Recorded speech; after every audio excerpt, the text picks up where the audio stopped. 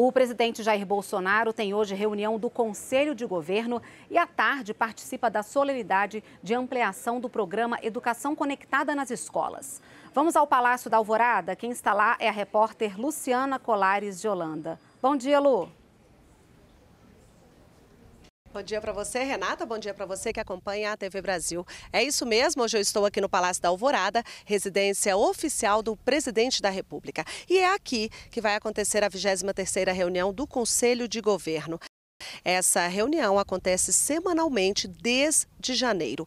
Todos os ministros participam e é nela onde eles apresentam o que tem sido feito por cada pasta e quais os próximos passos. E olha, é bem provável que a reforma administrativa esteja na pauta de hoje. Antes da reunião, o presidente Jair Bolsonaro recebeu aqui no Alvorada o ministro-chefe da Secretaria-Geral da Presidência da República, Jorge Francisco. E depois da reunião, que está previsto para as para o meio-dia, o presidente segue para o Palácio do Planalto, onde cumpre uma série de agendas nessa terça-feira. No final do dia, ele participa da solenidade de ampliação do programa Educação Conectada nas escolas.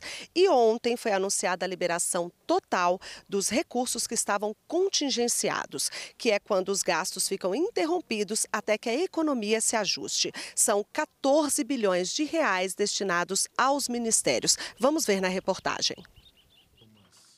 O governo anunciou o fim de todos os contingenciamentos de gastos de 2019. São 14 bilhões de reais que vão permitir aos ministérios realizar mais políticas públicas. A liberação de recursos foi possível porque o governo reduziu gastos e obteve receitas extraordinárias, como, por exemplo, o dinheiro arrecadado no leilão de petróleo excedente da sessão onerosa. É a vitória de um governo que foi primeiro cauteloso.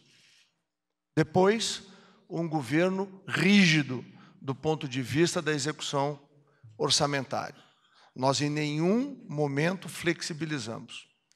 Terceiro, algo muito importante, nós desde o primeiro momento começamos a reduzir o tamanho do governo, na medida em que nós fomos desestatizando, nós fomos desmobilizando e fomos buscando receitas extraordinárias. O déficit fiscal de 2019, que ocorre quando as despesas são maiores que as receitas, também reduziu. Passou de 139 bilhões para menos de 80 bilhões de reais. Para quem começou o ano com 139 bilhões de estimativa de déficit primário, nós estamos com pouco mais da metade do número que foi estimado, o que mostra que foi um ano difícil, mas onde nós realmente fizemos um resultado né, bom.